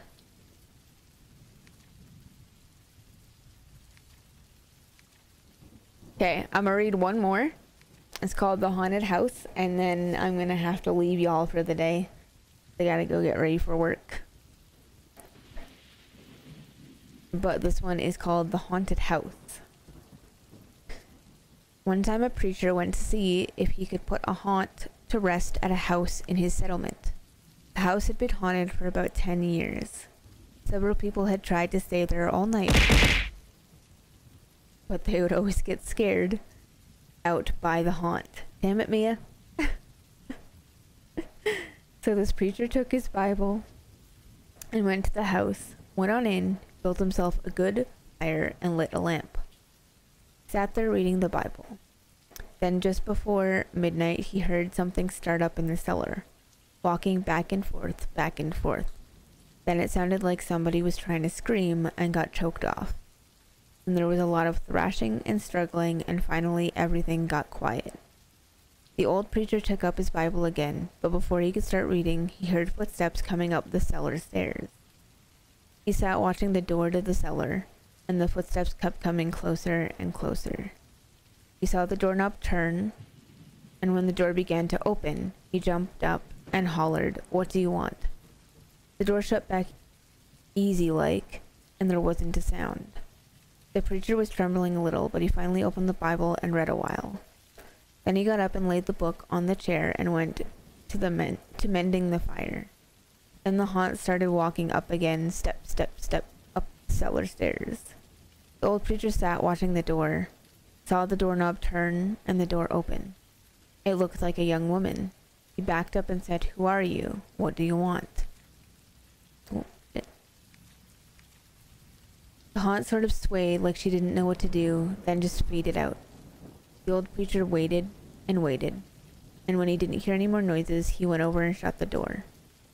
He was sweating, sweating and trembling all over, but he was a brave man, and he thought he'd be able to see it through so he turned his chair to where he could watch and sat down and waited. It wasn't long, long before he heard the haunt start up again. Slowly, step, step, step, closer and closer, step, step, and it was right at the door. The preacher stood up and held his Bible out before him. Then the knob slowly turned, and the door opened wide. This time the, preacher spoke quiet like. He said, In the name of the Father, the Son, and the Holy Ghost, who are you, and what do you want? The haunt came right across the room, straight to him, and took a hold of his coat. It was a young woman, about twenty years old. Her hair was torn and tangled, her flesh was dropping off her face, so he could see the bones and part of her teeth. She had no eyeballs, but there was a sort of blue light way back in her eye sockets. She had no nose to her face. Then she started talking. It sounded like her voice was coming and going with the wind blowing it. She told how her lover had killed her for her money and buried her in the cellar. She said if the preacher would dig up her bones and bury her properly, she could rest. Then she told him to take the end joint of the little finger from her left hand to lay it in the collection plate at the next church meeting and he find he'd find out who murdered her. And she said, If you come back here once more after that, you'll hear my voice at midnight, and I'll tell you where my money is hid, and you can give it to the church. The haunt sobbed like she was tired and sunk down towards the floor and was gone. The preacher found her bones and buried him buried her in the graveyard. Next Sunday, the preacher put the finger bone in the collection plate, and when a certain man happened to touch it, it stuck to his hand. The man jumped up and rubbed and scraped and tore at that bone, trying to get it off. Then he went to screaming like he was going crazy. Well, he confessed to the murder, and they took him to jail. After the man was hung, the preacher went back to the house one midnight, and the haunt's voice told him to dig under the hearth, hearth rock. He did, and he found a big sack of money. And where the haunt held on to his coat, the print of the bony fingers was burned right into the cloth. It never did come out. I like that story actually. I like that she was like everyone was too scared and he's like, "No, no, I'm going to figure this out for you." And so he does. And then, you know, like, I think that's nice. You know, he helped her, right? Yeah, kind of wholesome. Well, unfortunately, that is going to have to be it for me today because I have to go get ready for work. But I appreciate you guys. Thanks for hanging out and chilling with me. Mia, thanks for coming and saying hello. This is my uh, temporary uh, model. I have her. She's customizable, so uh, she is. Hi, Gray.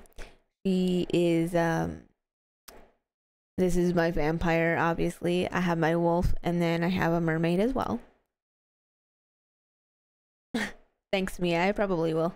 I really like how her mouth moves and stuff. So, I hope you guys have a great rest of your day. Um, tomorrow we'll do something. I don't know what it is yet. Tomorrow is Thursday, right? Today's Wednesday. Is today Wednesday? oh God. If today's Wednesday, I'll see you guys tomorrow. I will. You too, Mia. You too. You guys have a great rest of your day. Thanks, Deadeye. I'm like, I don't know what day it is. I don't I don't know anything. I don't know these things. I will try to have a good day at work, but um I cannot promise that I will, but I will try. You only know because it's trash day. Nice, did I? It's a good way to remember what day it is, I guess. Totally fair.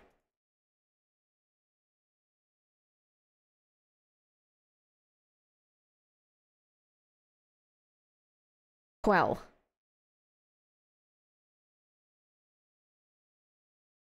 Well, like I said, um, I think um, hold on one second. I can tell you, Mia, I can tell you. One second.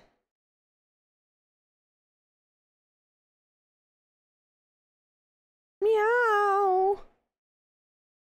Yes, Aqua? Meow meow? Um, like 30 bucks.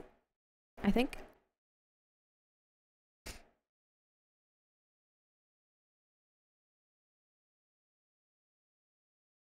Yes.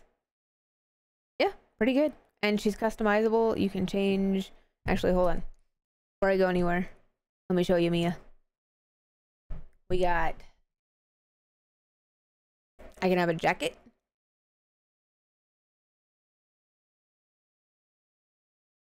The wings I added, the wings and tail uh, are like pinned to me, by the way. It has nothing to do with the model. We can change my pants. So like right now I'm wearing a skirt.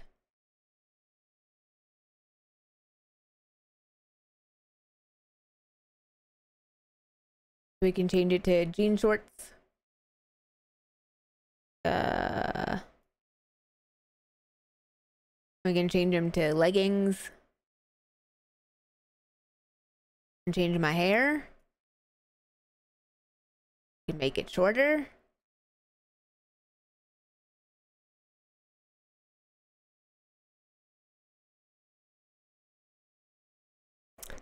Uh, you guys make me blush. I can toggle my wings on and off.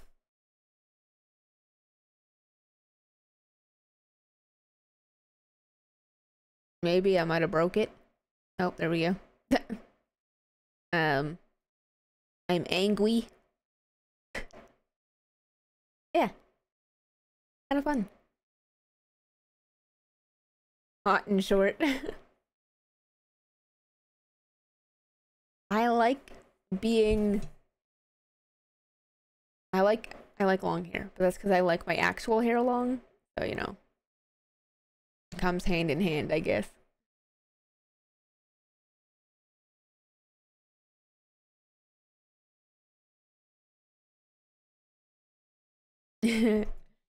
yeah. But yeah. That's it. That's all for today. I appreciate you guys. I hope that you guys enjoyed. My cat is adorable behind me. On her back with all of her feet in the air. Like the goofball that she is. yeah, thank you for hanging out. Much appreciated. I hope that you guys have a good rest of your day.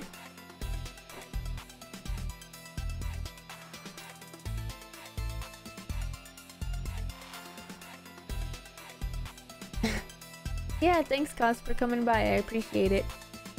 Hope you guys have a great rest of your day. And I will see you all tomorrow. I have games I have to play. Um...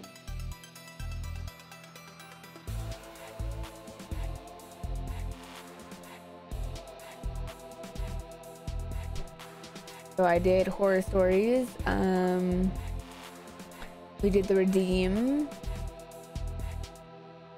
I don't know. We might just watch spooky videos or maybe um, react to stray TikToks or something. I don't know. We'll we'll figure it out. We'll see. We'll see what we're doing. But you guys have a great rest of your day. I'll see y'all tomorrow.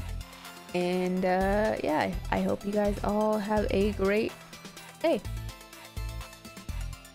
Bye bye.